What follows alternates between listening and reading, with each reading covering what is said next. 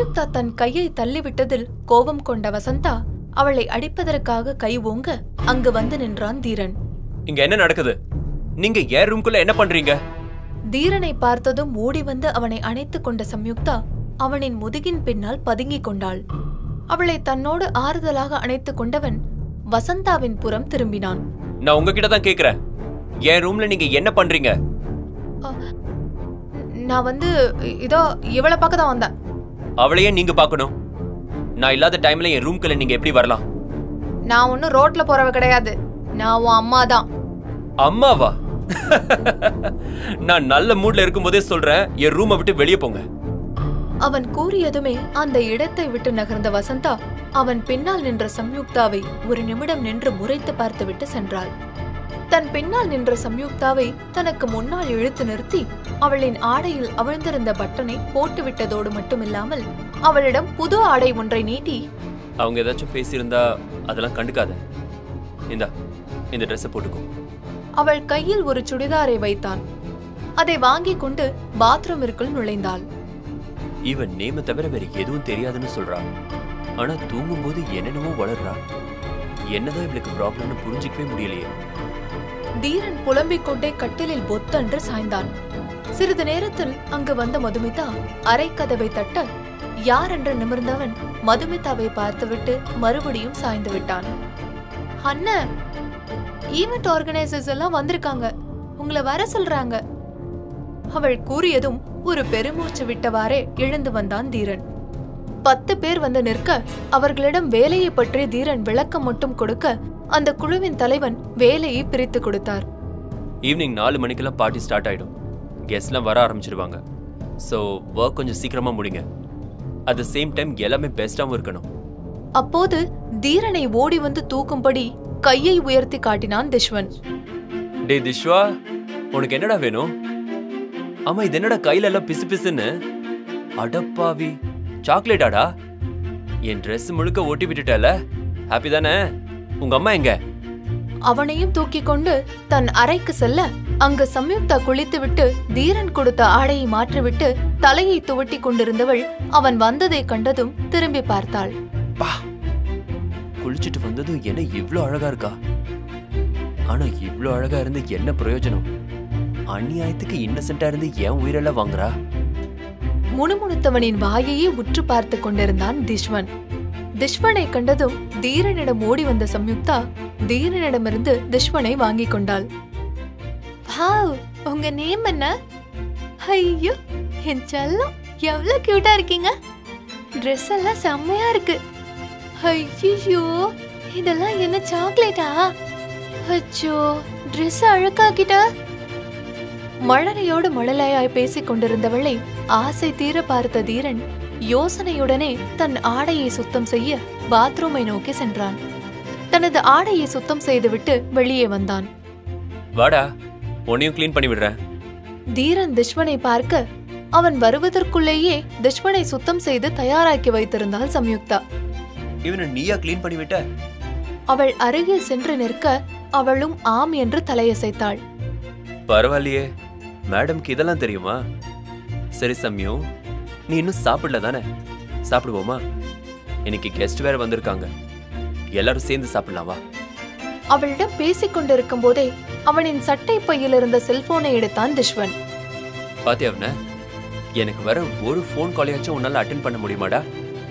தன் மொபைலில் திஷ்வனருக்கு கேம் வைத்து கொடுத்துவிட்டு சம்யுக்தாவை சாப்பிட அழைத்தான். "அம், நான் வரல நான் இங்கேயே இருக்கேன். நீங்க வேணா போய் சாப்பிட்டு வாங்க. நான் வரமாட்டேன். மாட்டேன்னா என்ன அர்த்தம்? நீ ஏன் வெளியிலயே வரமாட்ற. வெயிலா இருந்தாலும் சரி மழையா இருந்தாலும் சரி.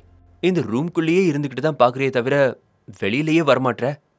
என்னதான் உன் ப்ராப்ளம் நான் வரல ப்ளீஸ் உனக்கு என்ன பிரச்சனைன்னு தான் சொல்லேன்டி. எப்ப பார்த்தாலும் எதையாவது யோசிச்சுக்கிட்டே தான் உட்காந்துருக்க நான் வந்து பேசினா ஒண்ணுமே நடக்காத மாதிரி பிஹேவ் பண்றேன் I can understand you Samyu I can't இங்கேயே சாப்பிடலாமா? எனக்கு ரொம்ப பசிக்குது. பவ்யமாக முகத்தை வைத்துக்கொண்டு அவன் பேசுவதையே காதில் வாங்காதது போல பேசிய சம்யுக்தாவின் மீது கோபம்தான் வந்தது தீரனுக்கு. அதை அப்படியே அடக்கிக் கொண்டவன் அங்கிருந்து சென்றான். மது? ஏ மதுமிதா! கண்ணு முன்னாடி தான் சுத்துவா தேடுற நேரத்துல கண்ணிலே அகப்பட மாட்டா. வசந்தா முனகிக் கொண்டே தேட அவள் கண்முன் வந்து நின்றாள் மதுமிதா. ஏமா என்ன இப்படி சத்தம் போட்டுட்டு தேடிட்டு இருக்கீங்க? ஆ உன்னை தூக்கி வச்ச கொந்ததாமா தேடினேன் என்னம்மா சொல்றீங்க? மணி என்ன ஆகுது? நீ ஒரு பையனுக்கு அம்மாங்கிறது உனக்கு ஞாபகம் இருக்கா இல்லையா? இன்னும் அவனுக்கு சாப்பாடு கூட கொடுக்காம அங்க என்ன பண்ணிட்டு இருக்க?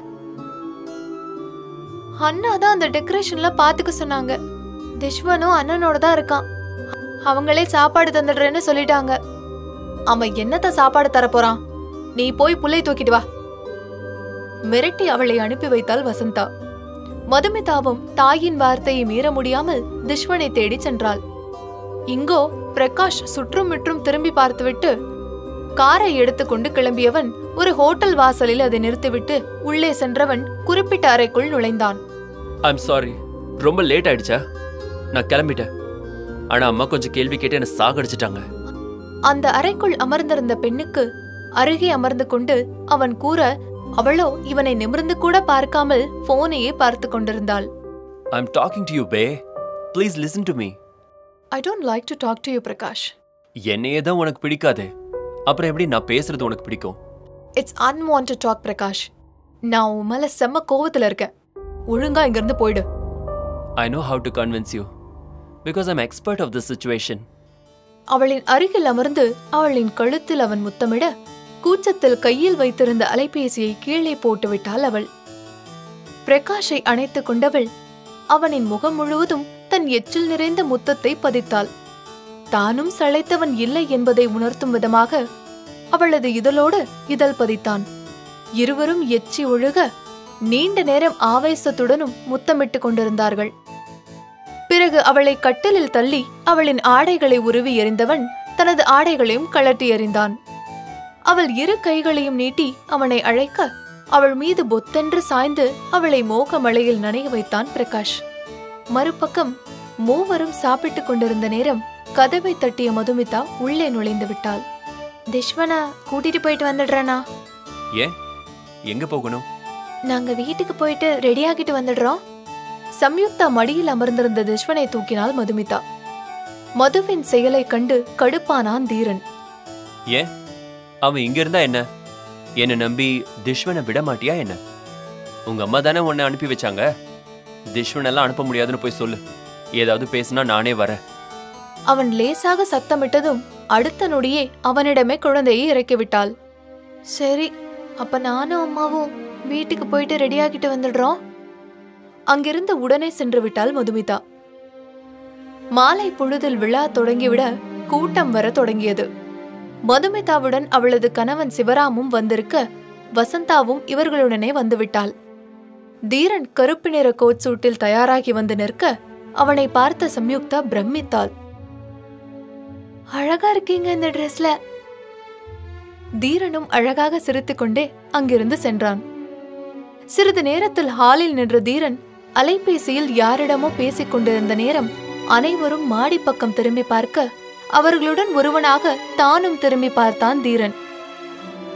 செஞ்சிவப்பு நிற கவுனில் அழகு பதுமையாக தேவதையைப் போல இறங்கி வந்து நின்ற சம்யுக்தாவை விழி இமைக்க மறந்து ரசித்துக் கொண்டு நின்றான் தீரன். பிரகாஷுடன் இருந்த அந்த பெண் யார்? சம்யுக்தா மீது வசந்தா இவ்வளவு வன்மம் காட்ட காரணம் என்ன?